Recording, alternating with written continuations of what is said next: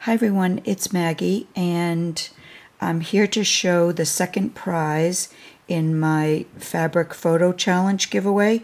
Uh, so far I have six entries and I said if I had over 10 I would do a second prize and 30 or more I'd do a third prize.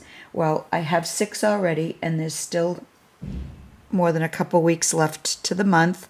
So I'm going to assume from um, some of my subbies that have said they were going to um, participate that I will get over, at least over 10.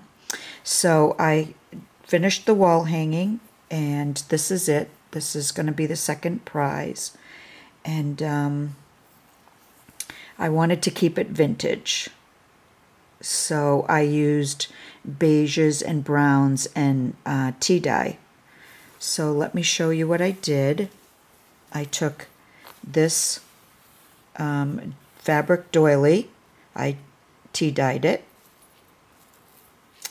And then I just started layering more doilies on top. There's this one, and then there's this one here, and then this one here. And then I added the image, and I just love her. Um, and then I added this little trim around the image. And then I added this ribbon flower um, in her hair. And then I just started um, embellishing from there. I added a large rosette here and two smaller shabby chic rosettes or shabby rosettes. And in the middle of the large one I added this piece here it's actually a rhinestone slider and then I put a pearl, a flat back pearl in the middle of it. I love how that sparkles. And then some ribbon flowers, one here, one there. Here's a um, one of those little embroidered pieces. And that's this side. And then on this side, I added this um, flower dangle piece from Dennis Seipel. And I added a pearl and rhinestone piece in the middle. And then on all the flowers I added different clay flowers. Uh, the large flowers I added the roses.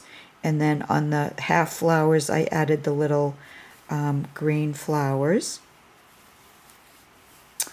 And then to hang it up if the person that receives it wants to hang it for something different I just added a chain but it's just on a ring on this side and a lob, little lobster claw on this side, so it can be taken off if they don't like it. Uh, they'd rather not use it.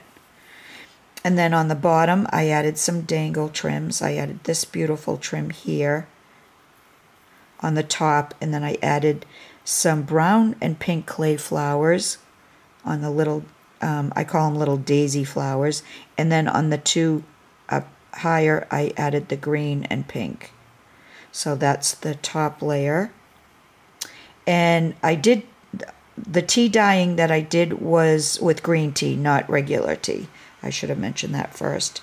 Then there's this dangle lace here. I added two rows of that. And then this dangle lace here, which is also from Dennis on the bottom. So there's four rows of, um, of dangle laces. And then I just left it, well, I showed you the back, but I left it plain because this is such a beautiful fabric doily. And I got this from Julie, the Thrifty Paper Garden. And I just left it as is. I just love it. So that is my doily wall hanging, my latest one, and the second prize for my challenge giveaway. So if you'd like, leave me a comment, let me know what you think, and I'll be back again soon with another project video. Bye for now.